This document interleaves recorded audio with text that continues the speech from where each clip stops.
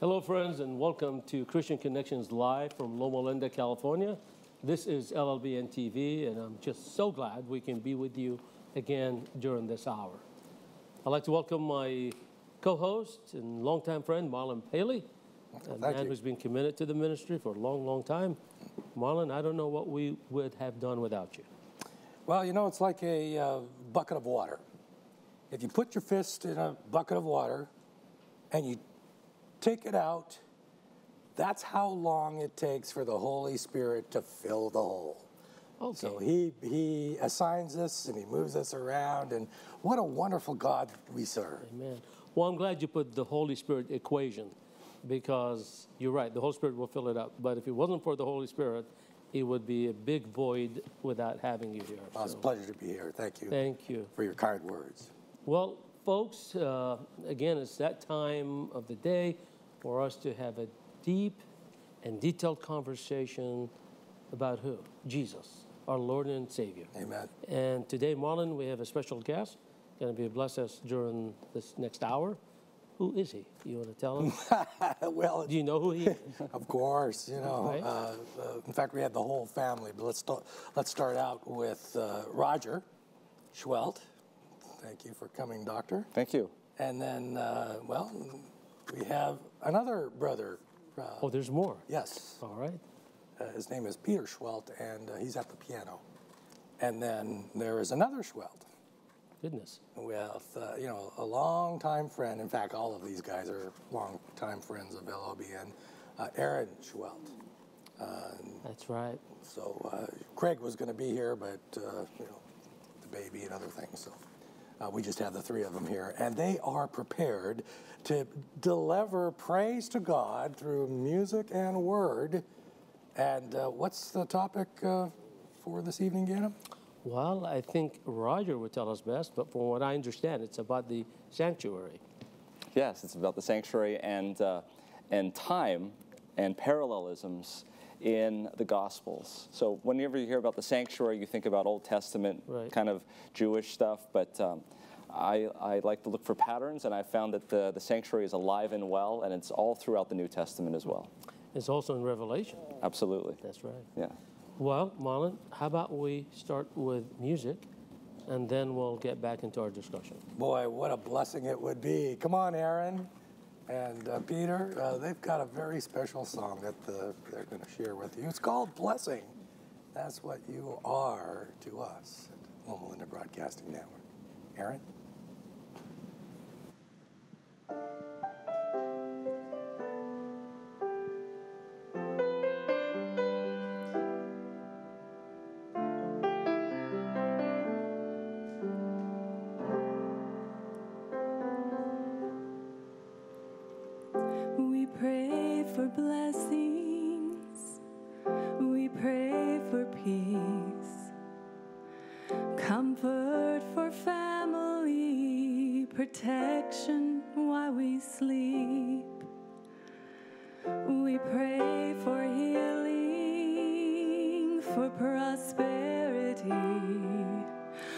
We pray for your mighty hand to ease our suffering. And all the while, you hear each spoken need and long that we'd have faith to believe. Cause what if your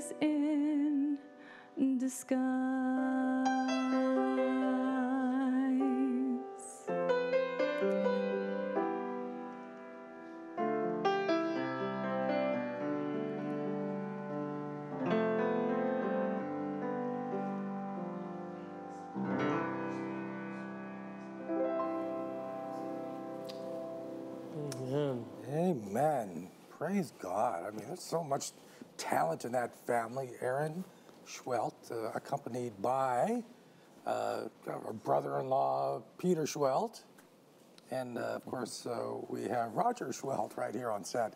Uh, and Ganim's going to tell us uh, about that. Ganim? Well, actually, I'm, I'm, I'm really honored to have the Seheult family here. I have known them almost since the days I started attending University Church back in 80, 87 probably. And I remember the Seheult brothers were just kids running around University Church, and now they're grown up, fine professionals, and speaking the word of God. I mean, that's just that's just awesome to see young kids to grow to be such fine adults. Well, it speaks volumes uh, for how that you were brought up, doesn't it? Yes, yeah, it, it does. Um, uh, first of all, the honor is ours to be here, and uh, we, uh, my brother and I, actually uh, were involved with Pathfinders at the University Church, and that's how we got involved with television ministry, and that's again probably how you got to know us because we were the little kids on the cameras. you That's know, right. we thought that that was fascinating growing up in church and seeing these television cameras and things. We wanted to get involved, and and we did it. Eventually, we got my dad involved too. He was uh, up there in the booth doing the switching, and. Uh, Is still involved? Still involved with that. My dad is still involved with that. Um, for a while there, we all four of us, uh, all four kids, and my dad were involved with the television ministries at uh, at the University Church. Um, as you may know, we would we would do it every third week, and uh, that presented itself a problem if we ever went on vacation because uh, you would lose Half of the crew. half the crew. yeah, yeah, yeah. so Ah. we had some responsibilities. Well, I think that's great. You know, we talk about discipleship. I think when parents invest spiritually in their children, that is a source of sort of a discipleship because you are producing disciples within the family. Yeah. You know, discipleship is not always just out in the field or schools or churches to create disciples. We also, as as the head of the families, we produce should be producing disciples from within our homes. And I think that's what I have seen over the years. Your mom and dad has truly produced young disciples out of the Seheult family. Thank you. Yeah. So uh, thank you. Thank you for being here with us today. Um, well, today uh, we're going to be listening to your message about the sanctuary. Yeah. Um, and uh, after that, we'll get back here and have a discussion about the topic. Yes. Uh, so, in a minute or two, we'll have you stand up and bless us with your message. Thank you. Uh, why you are focused on the sanctuary today? I mean, I'm sure there are other topics that you're passionate about. I have. Um, it's been a, a, number of reasons why I think uh, that I've focused on the sanctuary. Uh, as we'll talk about in the, in the sermon, um, if you go to Psalm 77:13, uh, David, who we all know more than anybody else wanted to build the temple, mm-hmm. and uh, he wasn't allowed to do it because he was a man of war. He said, "Thy way, O Lord, is in the sanctuary. Who is such a great? Who is a God is such a great a God as as Thou?" And you know, I. Um, I see in everything that God does, he, he uses the sanctuary as a way of affecting change on earth in more ways than you can imagine. And um, in discovering that, in studying the Bible, uh, it's become kind of a passion of mine to see parallelisms with the sanctuary. You know, um, as a physician, I'm trained to look for patterns. Mm. I'm trained to look for patterns. If somebody comes in with elevated neck veins, low, lower extremity swelling, um, can't lay flat, that, that's a, a, relative pattern of congestive heart failure. Mm. And so I can identify congestive heart failure by, by finding that pattern. And, and in fact, most of medicine is pattern recognition. Uh, what I what I started noticing when I started looking through the Bible was this recurring pattern over and over again. Um, and it was this pattern of, and, and you probably can start to recognize it, but something having to do with a door closing or some sort of a door, and then something that has to do with seven afterwards. Hmm. So let, us let's, let's go over a couple of things. Um, Daniel and his three, Daniel's three friends uh, were uh, asked to bow down to the image. Um, they were thrown into the fiery furnace, and when the door closed, it was seven times hotter. Um, when uh, Noah went into the ark, the door was closed, and he had to wait seven days. Uh, when Jericho was being besieged by uh, Joshua, the door, everything was sealed up and what happened? They had to march around mm-hmm. for seven days. And I started noticing this. Um, at, and at every Passover feast, uh, Moses, for instance, at the Passover of in Egypt, Moses told the Israelites to go into their homes uh, on the 14th day, to close their doors, don't come out into the into the morning. And what happened? You had this feast of uh, the the, un, the feast of unleavened bread, which lasts for seven days and it took him seven days to get to the Red Sea. So I, I started to put this all together. Is it possible? Is it possible that these stories that we have in the Bible are snapshots of something much, much bigger that's about to happen? Hmm. Because we know in uh, we know in eschatology, Adventist eschatology, what are, what are we looking for? What do we know is going to happen if we look in Revelation? There's going to be a door that closes on humanity. Probation. Probation will close. And then what will follow after that are the seven last plagues. Mm. So, is it possible that the, the greatest event that is a, about to occur on Earth's history has been told about multiple times in the Bible mm. from different angles, different stories. Uh, you don't you understand what I'm right, saying? And we're just missing it. And, and we're missing it. Yeah, maybe you know it's kind of like if you go into a, I don't know. Sometimes you open up a car magazine, you really like a car. So let's Porsche, okay? Uh, and you look, you see the Porsche from different, mm-hmm. different perspectives, under the hood, from the back, from the side. If you go online to try to buy a car, you'll see it from different perspectives, and it's just giving you a sense of right, what it is. Right. But to actually experience it, you go there and you can see it for yourself. And I'm wondering if this is how God works. Interesting, very interesting insight. Yeah. Um, well, I'm sure you're going to help us understand more of your yeah. discoveries. Are you ready for that sermon? Absolutely. Marlon? Are you ready for it? Yeah, but just before you get started, it reminds me of Ecclesiastes, the whole book. Nothing is new under, under the, sun. the, sun. That's correct. You know, is all is vanity and all mm-hmm. it's the same tricks over and over again through the gen- generation. Absolutely. Well said. Well said. All right, let's get his podium up here and let's give him the opportunity to share with us his message. Roger Seheult, our guest for the day. Of the first. So as I was talking about, um, let's see if we can get the first slide.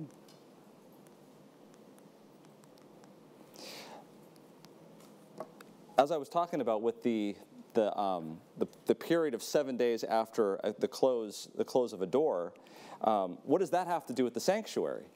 Um, well, if you look at the, uh, at the sanctuary, imagine that you're in the sanctuary and you were to measure, take a measuring tape from the, from the front of that door where the altar of incense is, or for, for where the, the altar of, of sacrifice is, and you were to measure in terms of time how long that time would go, um, you would know that from Revelation or from Daniel chapter 9, I don't think it's working there. Okay, all right. From, and, and we know in Daniel chapter 9 that we have the 70 week prophecy, and that takes us to when Christ died on the cross, in the middle of that last 70th week. And we can time exactly when that would have occurred, and that's around AD 31. That's based on 457, which was when Jerusalem was to be rebuilt. And it's a very well known uh, prophecy. Well, back in Daniel chapter 8, we have the 2300 day prophecy, which starts at the very same time in 457 BC. But that takes us to another veil that is the veil that separates the most holy from the holy. So essentially, what we have here is we have prophecies back to back Daniel chapter 8, Daniel chapter 9. Daniel chapter 8 is a prophecy that gets us to the deep veil, the veil there in the, um, in, in the most holy. And Daniel chapter 7, or Daniel chapter 9, gets us to the first veil. So we start with the, um, with the text, Psalm 77, where it says, I will remember the works of the Lord. Surely I will remember the wonders of old. I will meditate also on all of thy work and talk of thy doings. Thy way, O God, is in the sanctuary. And it doesn't say that some of his works are in the sanctuary. It says, Thy way, O God, is in the sanctuary. Who is so great a God as our God? Let's go over with the next slide. And as you can see in the sanctuary, from that first gate, there are two veils. The two veils separate the courtyard from the holy and the holy to the most holy. And so we're going to talk about those two veils today. If we could have the next slide. I think they're having slight, slight technical difficulties. Okay. We'll get. Um, all right, no problem. The um, the first the first veil and the second veil are related to each other. What is a veil? A veil is something that prevents you from going into the next place. It doesn't prevent you from going into it, but it prevents you from looking into it. And where I want to go with this is this, this period of the sanctuary. We know that these pieces of furniture in the sanctuary perfectly reflect what happened to Christ as he went through his ministry. So the first part is the altar of sacrifice. This is where Christ died on the cross for us, just like he was the Lamb of God. Then moving to the laver is when you is, is has to do with baptism, and so Jesus was buried with him in baptism, and then Jesus was raised to, to, was raised uh, from the dead. Then we reach the first veil. Okay, and on that first veil. Jesus ascends into heaven. And when he ascends into heaven, there are three things that occur, and those are the three pieces of furniture that are in the holy place. So, what are the three things? We have the table of showbread, which represents the Word of God, which was created after Christ ascended into heaven. Then there was the the uh, altar of incense, which represents the Holy Spirit, and that represents the Holy Spirit going back to earth as the comforter. And then finally, um, actually, that was the seven branch candlestick. And then the altar of incense is where prayers go to ascend. And that was our ability to now go to the right hand of God and ask for forgiveness of sins. But there is one more veil and that's the veil that separates the holy from the most holy. And that, we said, has to do with 1844, which we all know has to do with the investigative judgment and the mercy seat, importantly, that is in there. So what I want to so what I want to try to do is oh there we go. So let's let's click through that and we can go quickly here.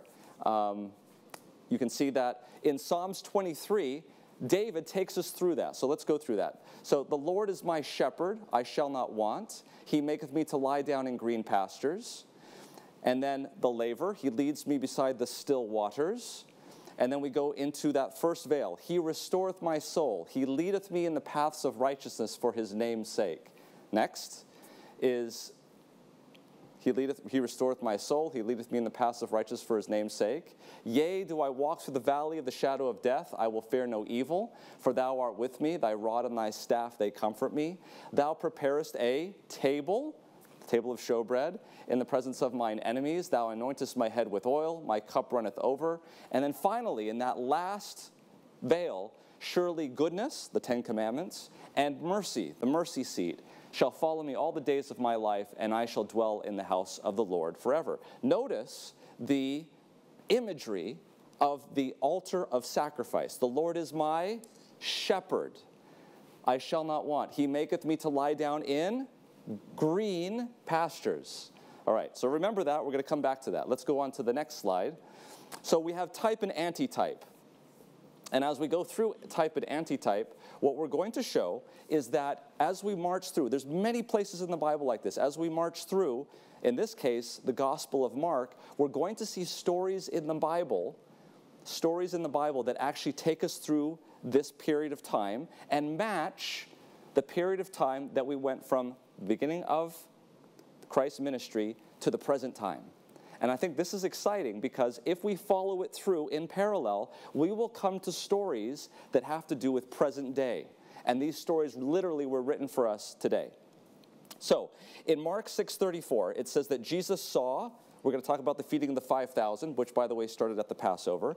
Mark 6:34 says that Jesus saw much people and was moved with compassion towards them because they were as sheep not having a shepherd and he began to teach them many things. And further down in Mark 6:39 he says, "And he commanded them to make all of them sit down upon the green grass." So here's that imagery that's being used. Green grass, they're a bunch of flocks without a shepherd. And so we know that that has to do with the altar of of the altar of sacrifice. Because we know that in AD 31, Christ, who was the bread of life, led the Jews as a shepherd to relieve their burdens as sheep in green pastures. His death relieved the world of the burden of guilt and sin. Now, Jesus fed that multitude with five loaves and two fishes. Five loaves, two fishes. Jesus' mission in AD 31 was accomplished by his death on the cross and his burial and resurrection from the tomb. This is symbolized by the altar of sacrifice and the laver, respectively, in the outer court. The altar of sacrifice is five cubits by five cubits. Okay? And Jesus was pierced five places on his body two in his feet, two in his hands, and one on his head. That was before he was before he died. Remember the sixth was in his abdomen, which created blood and water. But remember, he died between two men, two fishes. So we have the five loaves and the two fishes. Christ, Christ commanded the 5,000 to sit down, and they were organized, it says in Mark, in groups, and rows of 50 and 100. So if you take 5,000 people, 5,000 men, and put them into a row of 50, how many rows are you, are you going to have?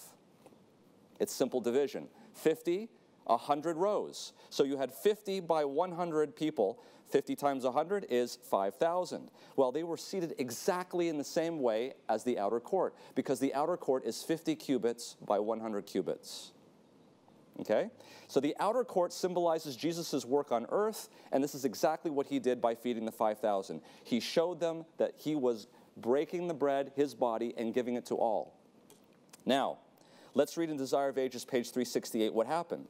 After the multitude had been fed, there was an abundance of food left. But he who had the resources of infinite power at his command said, Gather up the fragments that remain, that nothing be lost. The contents of those baskets were distributed among the eager throng, and they were carried away into the region all about. So those who were at the feast were to give others the bread that comes down from heaven to satisfy the hunger of the soul. They were to repeat what they had learned of the wonderful things of God. Nothing was to be lost, not one word that concerned their eternal salvation was to fall useless to the ground. Now, how many baskets were left over? Twelve baskets were left over. The result of Jesus' ministry was that all were fed with his body with leftover to spare. The good news was so plentiful that it was spread around the world by the use of 12 disciples that fed the spiritually hungry. Now that we have gone through the outer court, we are going to pierce the veil. And with the feeding of the 5,000, we have pierced that veil. What will we expect? We will expect something akin to the early church So Matt, Jesus sent the 12 disciples in a boat on the sea across to their new location. He then went up to a mountain to pray. Matthew 14, 23 says, And he had sent the multitudes away and went up to a mountain to pray. And when the evening was come, he was alone.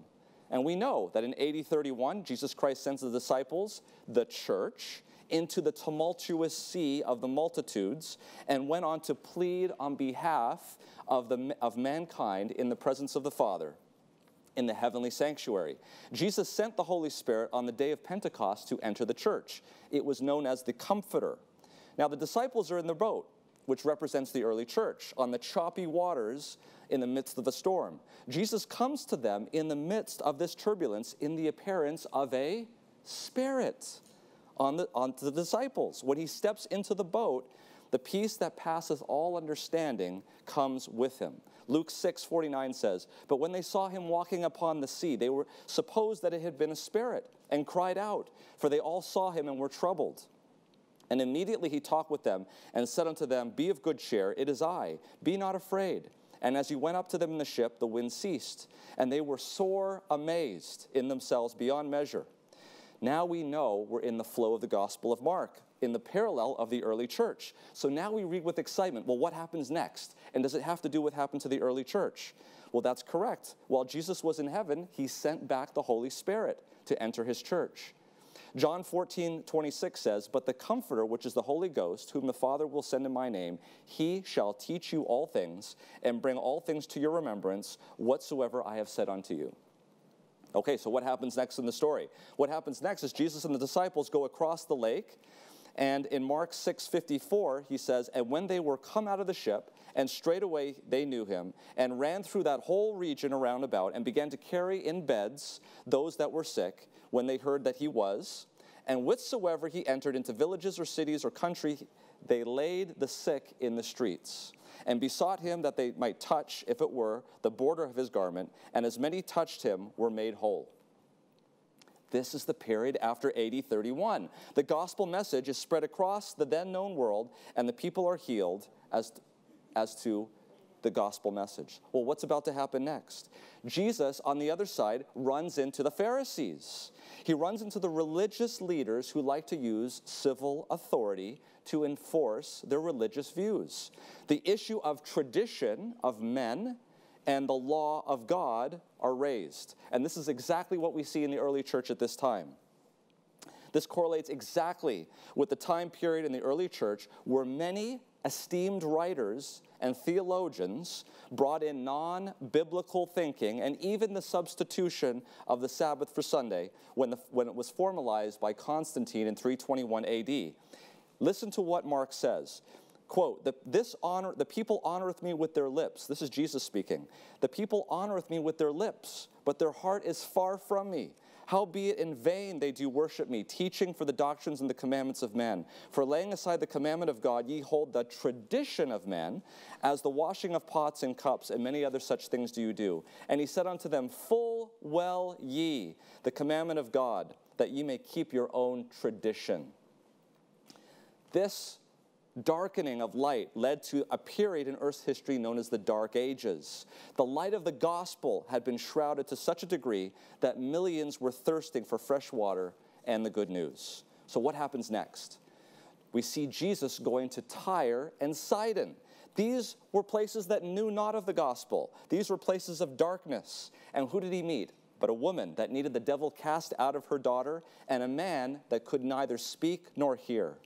Mark 7 28, 29. And she answered and said unto him, Yes, Lord. Yet the dogs under the table eat of the children's crumbs. And he said unto her, For saying this, the devil is gone out of thy daughter. Because of faith, Jesus was going to work his purpose in those Gentiles who lived in darkness and had not the message, but who hungered for it. These places were formerly pagan and barbarian. Yes, Europe. Europe the Reformation had begun. Jesus used a man who was deaf and could not speak. Imagine using the barbarians of Europe to spread the gospel that had been buried in the dark ages. And yet he was healed. Go to Mark 7 32. And they bring unto him one that was deaf and had an impediment in his speech. And they beseeched him to put his hand upon him. And he took him aside from the multitude and put his fingers into his ears, and he spit and touched his tongue. And looking up to heaven, he sighed and said unto him, Ephphatha, that is, be opened.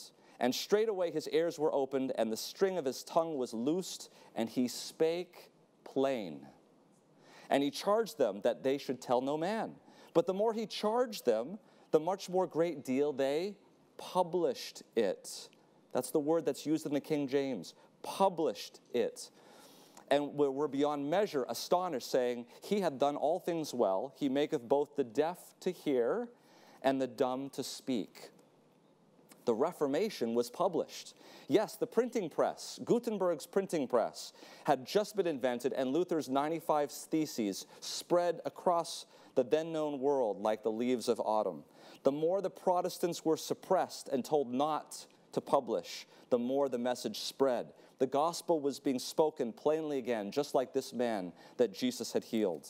Where does all of this lead?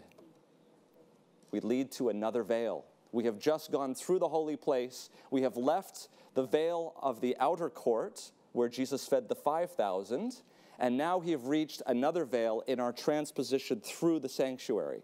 And guess what we come to in the scripture? Not the feeding of the 5,000, but the feeding of the 4,000. Now, what does the 4 mean in this case?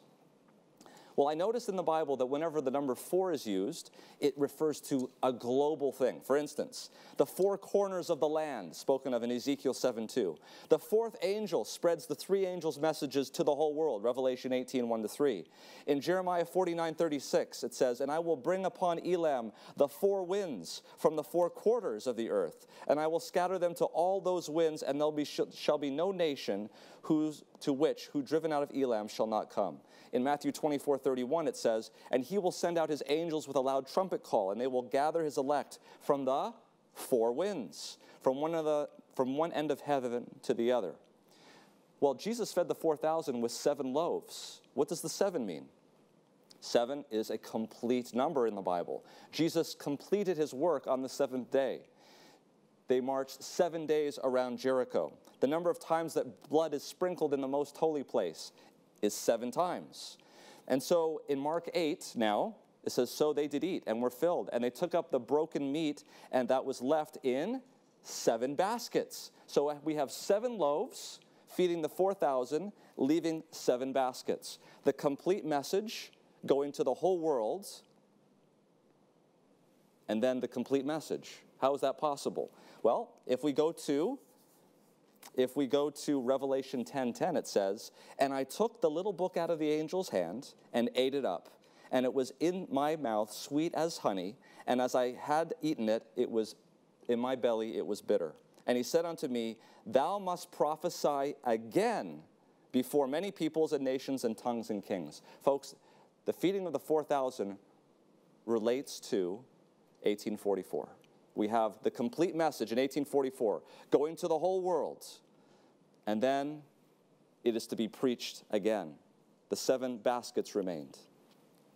The seven baskets after seven loaves. The complete message to be given by the Seventh day Adventist Church. This occurs at the inner veil. And in 1844, we know that Christ passed through that inner veil as he went into the most holy place in heaven. The only place where we see that. Now, the next story that happens it's exciting because now it has to do with our time. And this next story is only recorded in Mark 8:22. It's the only place in the Bible where it's recorded. It's where a man who could once see was healed in two steps. He was healed, and then he could only see men walking as trees, and then he was healed again. Jesus spat into his eyes again.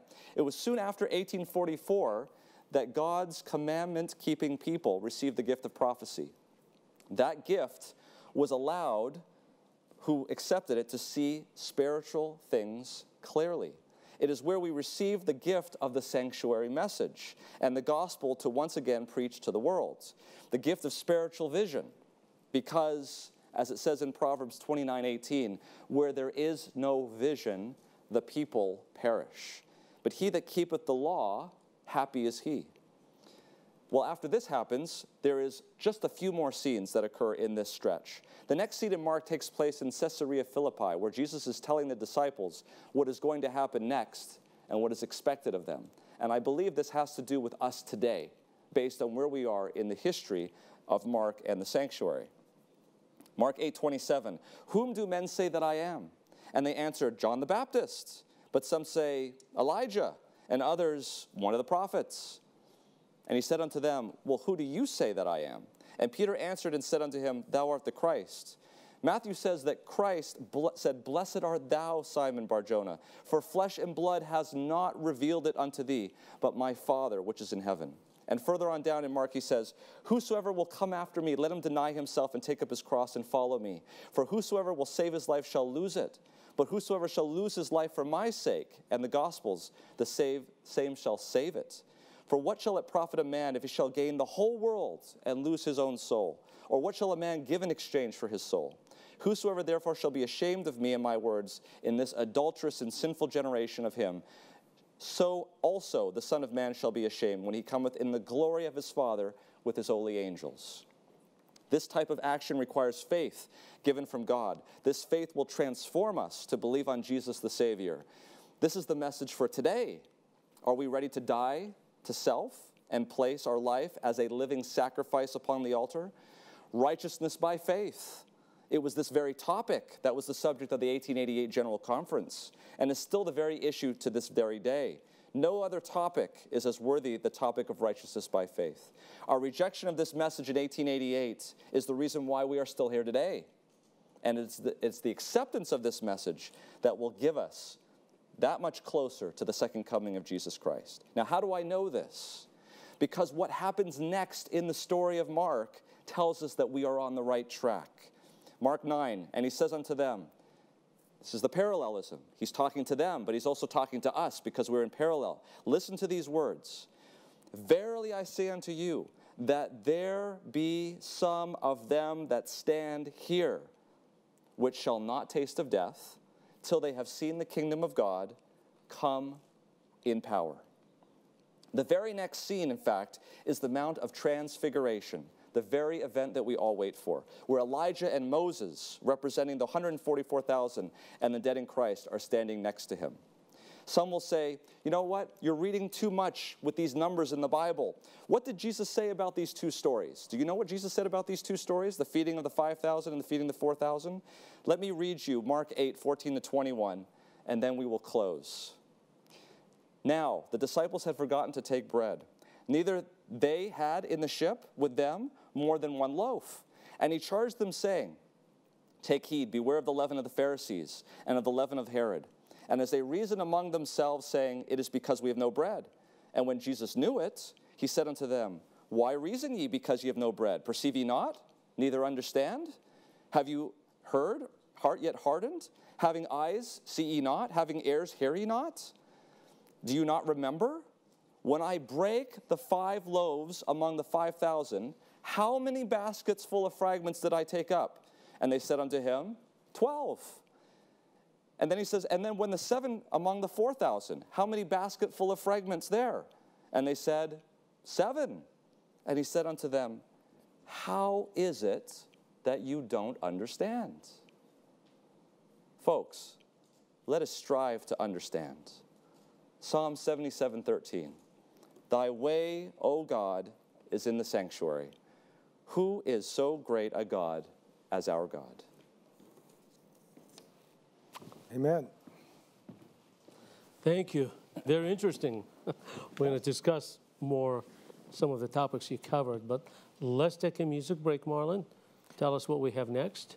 Well, we've got Erin and Peter Seheult uh, up next with one of your favorites. And if it isn't your favorite, well, it's going to be your favorite after Erin sings this song. Now, what is the title? The Savior is Waiting. Uh, kind of apropos to what uh, Roger was talking about. So listen to these words, listen to the beautiful music. Praise Jesus Christ for all his glory and wonderfulness. And I'll be right back to Dr. Roger. Erin.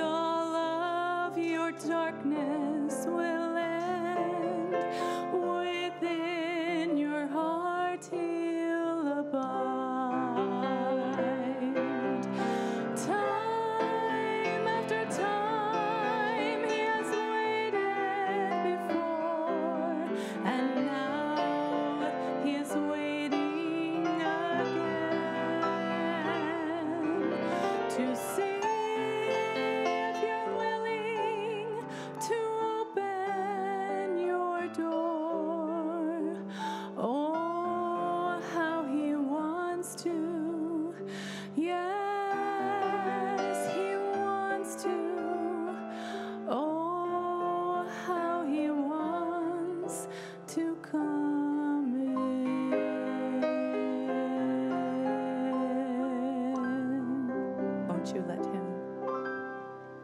Amen. Amen. What a beautiful sentiment. And uh, boy, she does that quite well, doesn't she? I think you would agree, Roger. Yeah. Uh, you've heard her sing a lot. Yes. Does she ever sing at churches? Oh, all the time. Yeah. So, if you'd uh, like to have Erin and uh, Peter or Craig, maybe even Roger come to your church uh, just to get a hold of Jay Hughes here at the Loma Broadcasting Network, call, write, or uh, send an email uh, to the address on the screen. Organa, would just start us off? Well, I just want to say something quick about Erin. Erin started with us in the very early days of LLBN. She was quite involved until she got married and got a more complicated job and had a kids. kid, right? But she's back, and thank God for her return to LLBN because she's always been a blessing to the family of LLBN here in our studios as well as to our viewers. Well, I'm going to come back to. I have a question, and then I'll let Marlon dive in. Uh, but so, very insightful, very interesting how you illustrated the numbers and the parallels here. And maybe this is not a fair question, but I'll ask, and you can, if you can't answer it, we'll move on to the next topic. Sure. But where does all the significance of numbers leads to forward in our times? I think that uh, if you're talking about numbers that are used in the Bible, I think they define themselves. Um, uh, and I believe the way that God uses numbers in the Bible is to connect thoughts, to say this is connected to this. Um, for instance, the uh, we've talked about Esther before. Um, we know that the Jews were sold for 10,000 talents of silver. Well, there's a whole other parallel in Matthew chapter 18 where Christ gives the, the parable of the king, the servant, and the fellow servant. Well, in that story, the, the servant owes the king exactly the same amount of money 10,000 talents. And, um, and, if, and we could go through that, um, not today, but that connects those two thoughts. That's a way of God saying that those are connected. I, I brought up the number five. Whenever the number five or a multiple of five is used in the Bible, I see the, the, the idea or the principle of grace. For instance, uh, the altar of sacrifice was five cubits by five cubits. When Abraham was pleading for Lot and for those that would be righteous in Sodom and Gomorrah, he started at 50, and, his, and when he started to work down, he worked down by, by 5s or by multiples of five. Um, when Christ healed the man at the pool of, of Bethesda, um, he didn't even ask him for faith. He just said, Do you want to be healed? He said, Yes. He healed him. And, and they just throw these little details in there of, oh, by the way, there were five porticos over the pool of Bethesda. so you, you start to see that, that things that are just thrown in for color are not really there for color. They're actually there for a, for a purpose. And I could go on. I mean, when at Simon's feast, when Christ is sitting at the table and he compares what Simon has done and what Mary Magdalene has done, you know, uh, about the person who owed 500 and the one that owed 50, and that were both forgiven. Why did God choose 550? It's because every single time the number five is brought up, it has to do with grace. You know, I think about taking nothing for granted. When, when that nail went into Christ's hands, how many fingers were there? Five. There were five. Hmm. It didn't have to be that way. Christ created us with five fingers. Why? And Christ knows the beginning from the end. He knew exactly what was going to happen. And I just can't imagine just the significance and the irony of all of those things. He was pierced in five places, sixth after he died. Um, and the five goes on, and not just the number five. We could go on to the number eight, or we could talk about the number seven. You know, it's interesting that there's 12 disciples, and those replaced the 12 tribes. That's right. So, I mean, people, uh, sometimes people get a little bit afraid of talking about numbers in the Bible because, you know, there's other religions, even, you know, satanic religions that look at numbers very importantly. But again, Satan copies God. And so I think these numbers uh, do have meaning, but we should be careful not to assign meaning to the numbers. We should let the Bible describe what those, what those meanings are. Marlon. Very interesting. I'd like to talk about the number 12 uh, in depth because that's really uh, uh, a, a special number. You mentioned the disciples. Yeah. You know, 12 times 12 is 140,000. That's the fruit of the disciples, you know, uh, Right. with the work of the Holy Spirit as, as they, uh, very fascinating. And I'm like you, uh, I don't want to get hung up on the numbers Yeah.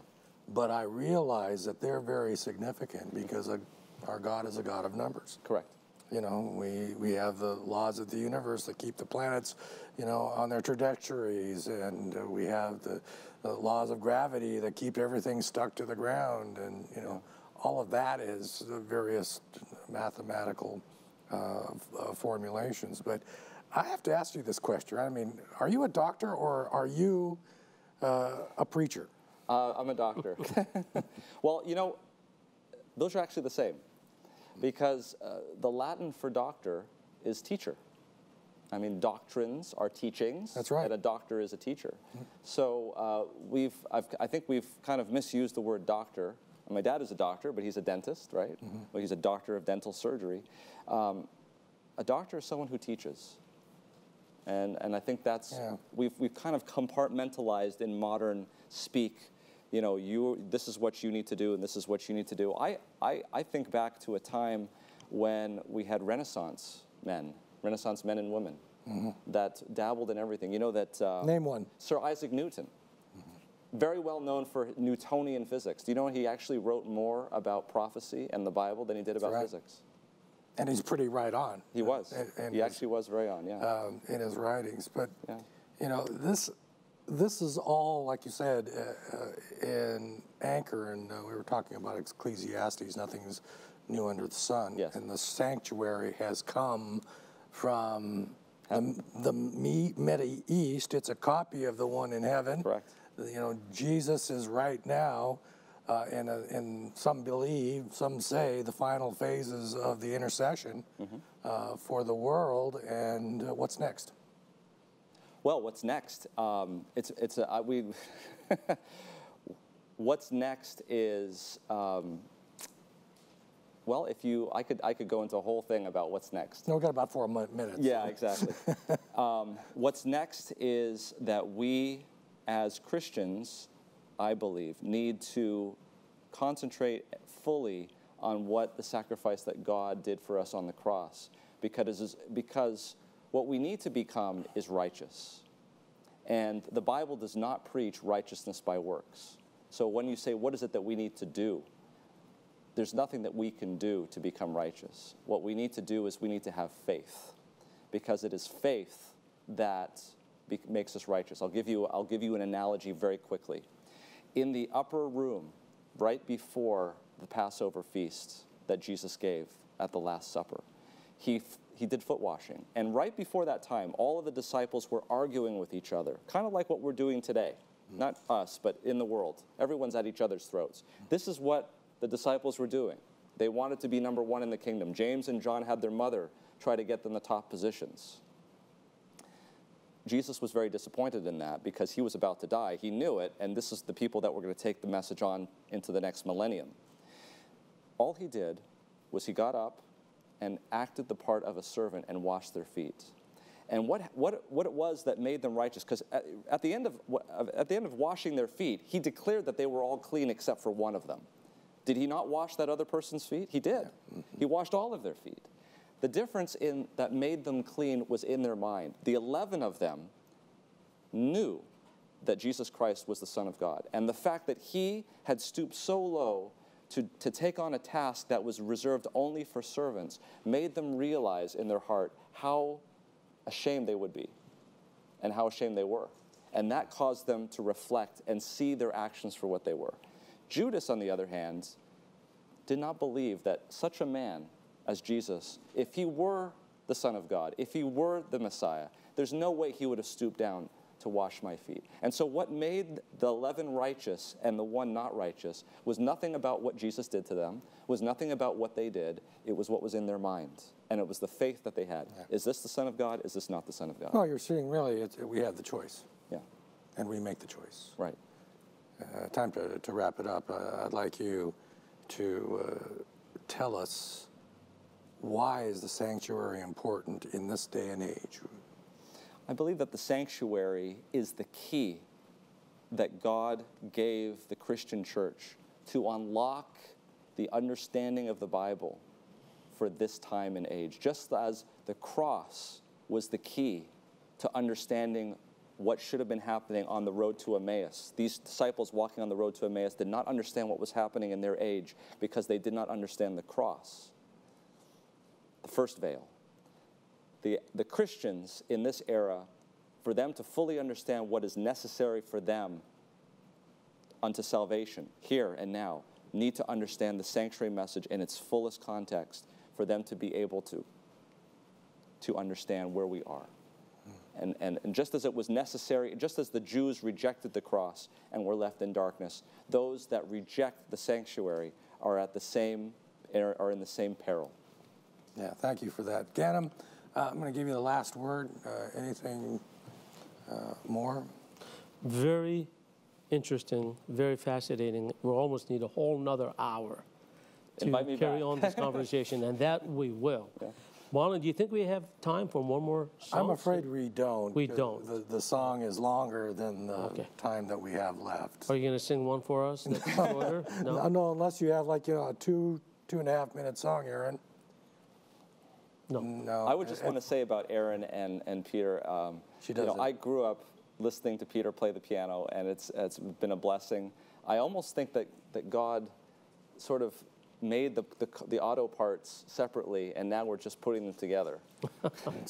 um, it just seems like everything has just come together. Well, they're, they're, it fits together yeah. like a hand in glove. I right. mean, what a beautiful combination. Get them? Yes. Um, again, thank you for your presence with us, and we're certainly happy back because I think our viewers are going to have a lot more questions. Okay. Than maybe we can answer, and what's best to bring you back and have you answer some more of those questions they may have as we receive the mail in the next few weeks and Absolutely. see what questions they have.